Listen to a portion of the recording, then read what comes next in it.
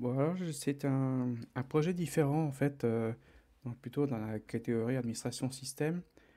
Euh, donc c'est suite à un, projet là que j'ai fait il y a quelques temps. J'avais, on m'avait demandé, de préparer une, image virtuelle euh, avec Debian, avec donc certains outils de préinstallés pour faire fonctionner Qt3, et, euh, mettre une base de données, etc. Donc l'idée c'est que l'idée du projet c'était que je fournisse une image virtuelle prête à être euh, déployée sur une, euh, une machine physique avec un certain nombre d'outils préinstallés. Euh, dans cette machine virtuelle, ils utilisent TeamViewer pour accéder à la machine virtuelle à distance.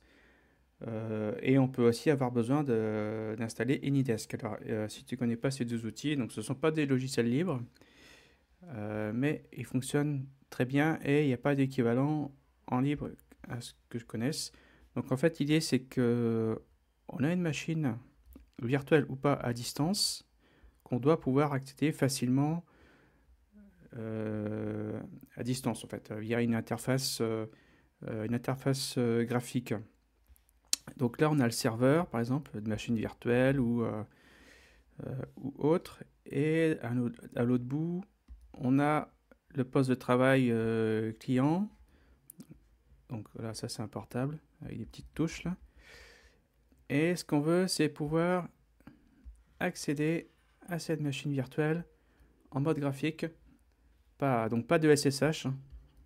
Euh, L'idée, c'est qu'on ne dise pas ça. Donc on utilise, euh, il y a deux outils qui sont disponibles sur le marché, deux outils très connus. Où est-ce qu'il est le rouge? Euh, donc il y a AnyDesk.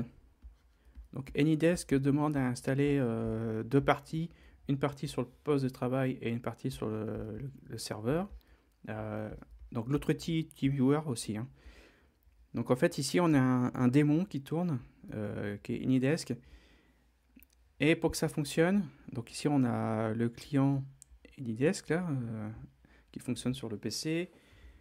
Et en fait ça utilise un relais. Donc euh, le relais c'est le relais des serveurs AnyDesk qui sont sur, euh, sur Internet. Donc en fait, on n'accède pas directement. En fait, ça, passe. euh, ce- cet outil-là va, va se connecter à un relais. Et ici, on accède. Alors, a priori, c'est pas, c'est pas direct. Je crois que je vais pas trop vérifier.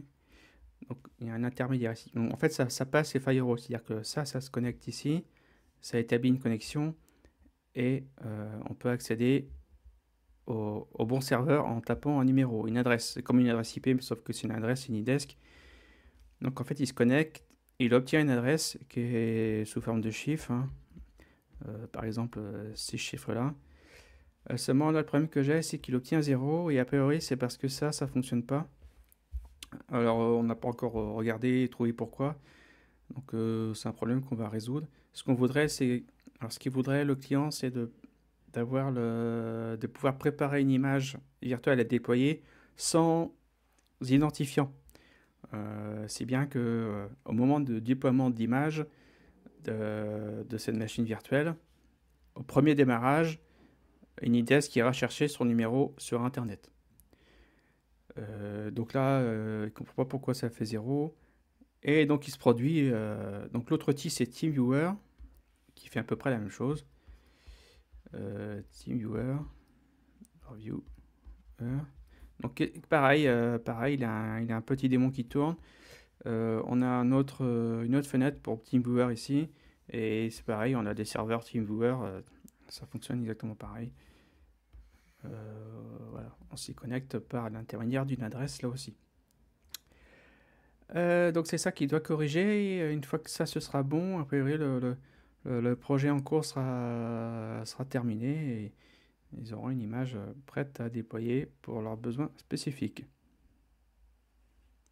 Donc à tout de suite pour la prochaine séquence.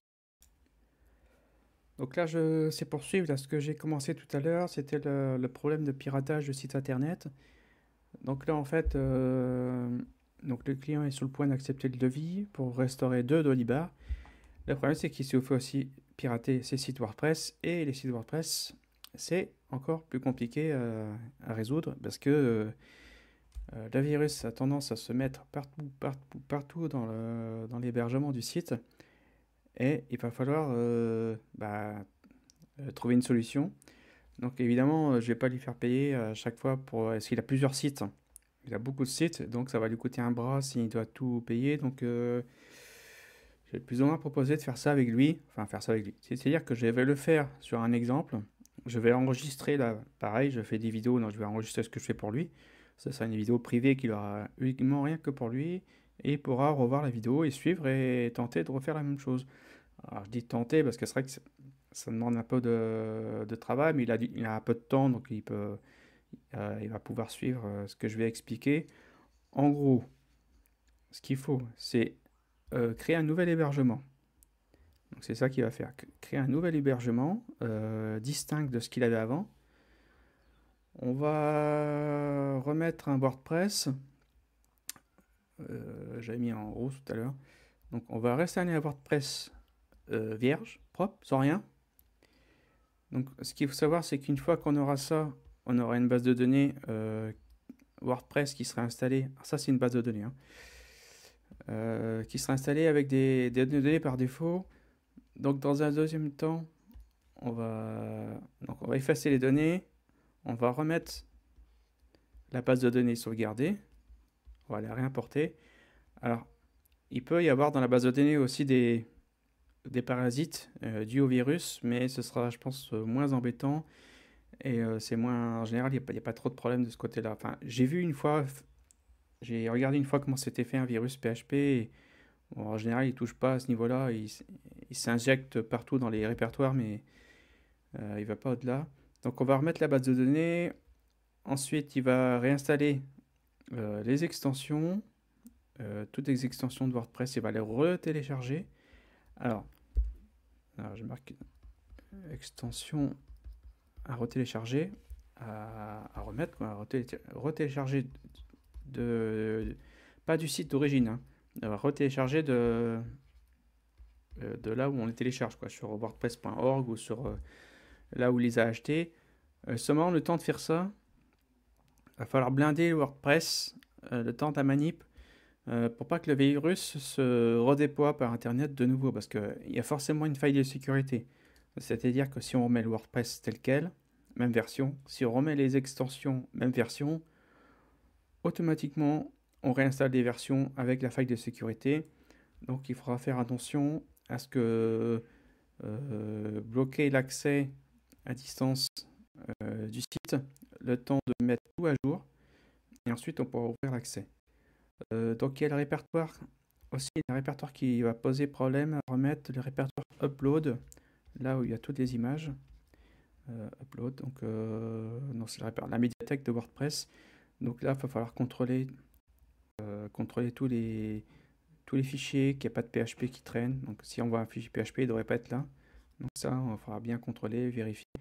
Donc tout ça, il y a un certain nombre d'étapes à suivre, un processus hein, pour que ça fonctionne. Euh, je vais documenter ce que je vais faire. Je vais enregistrer sur un exemple. Alors peut-être pas tout, tout, tout, mais je vais enregistrer toutes les étapes. Et ensuite, je vais les fournir la vidéo. Et il va pouvoir recommencer avec tous les sites internet. Euh, évidemment, je vais l'accompagner au fur et à mesure euh, qui va, va refaire parce qu'il y aura des questions, des choses que j'aurais pas enregistrées, etc. Et donc voilà. Alors piratage de site, hein, c'est pas évident parce que ça, c'est tout de suite euh, récupérer une situation, ben, ça demande du temps. Euh, voilà, bon, bah, euh, à bientôt pour la prochaine séquence.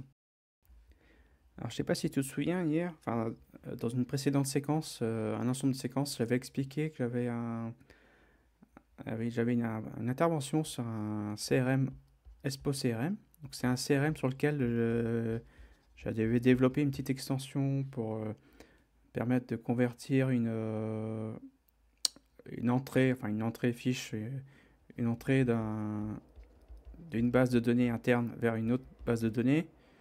Euh, donc entrée 1, entrée 2. Euh, seulement chaque entrée a un statut qui lui est attribué. Donc ça j'avais expliqué ça hier.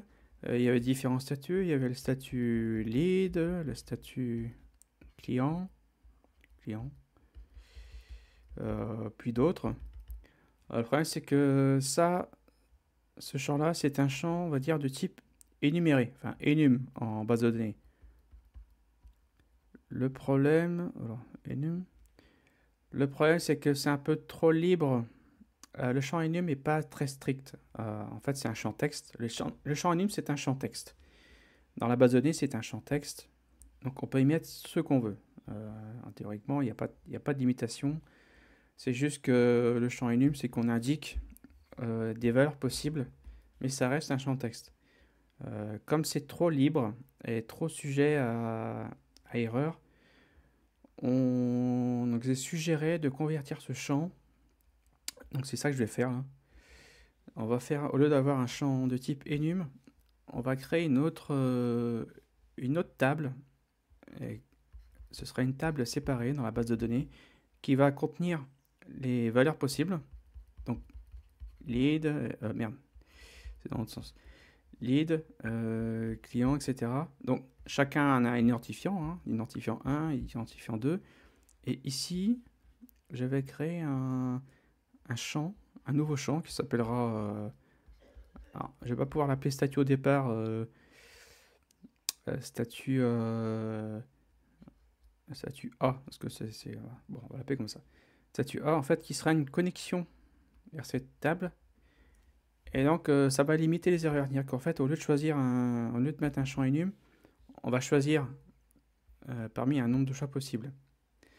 Donc je vais faire ça. Alors le truc, c'est faut que je vois comment faire. Je n'ai pas regardé. Enfin, j'ai commencé à regarder, mais j'ai pas trouvé. Euh, actuellement, en fait, quand ça s'affiche, ça, il a des couleurs qui s'affichent. C'est-à-dire que lead, c'est en rouge, client, c'est en... Ah, je suis content d'avoir plein de couleurs. Euh, client, c'est en vert, etc. Donc là, j'ai regardé un petit peu, mais je peux pas... J'ai pas trouvé comment mettre de couleurs. Euh, donc je vais chercher, puis je vais trouver comment faire ça. Euh, donc je fais tout ça sur la base de données de test, et une fois que ça marchera, bah, je, je, pourrai refaire la, modification sur son euh, application de production. À bientôt pour une autre séquence. Très bien, merci d'avoir suivi cette séquence de vidéo. Alors je me présente, je m'appelle Christophe et donc je, je fais de l'administration système depuis 20-25 ans.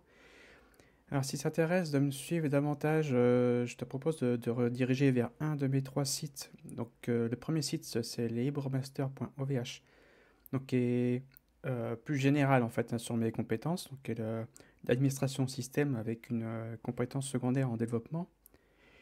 Et j'ai des sites secondaires, donc j'en ai un qui s'appelle dolibartaxi.com pour ce qui est de proposer un, un Dolibar CRM, ERP CRM en ligne euh, infogéré, donc il n'y a rien, il y a juste euh, c'est clé en main, il n'y a, a, rien à faire avec euh, tout ce qui va bien, les sauvegardes, etc. Et j'ai un troisième site, un site internet rapide, qui propose un service pour accélérer ton site internet et voilà, améliorer un petit peu son, classement dans, Google. Alors si ça t'intéresse de recevoir des, séquences privées comme celles que tu viens de voir qui ne seront pas diffusées en ligne, euh, je t'invite à t'inscrire sur un des formulaires sur un des trois sites. Euh, le formulaire dans la page d'accueil, tu mets ton adresse email et tu t'inscris. Et tu recevras également, également des notifications des ateliers en ligne, des ateliers en direct qui ont lieu tous les mercredis à 17h15. Donc je te dis à très bientôt pour la prochaine série de séquences vidéo. Merci.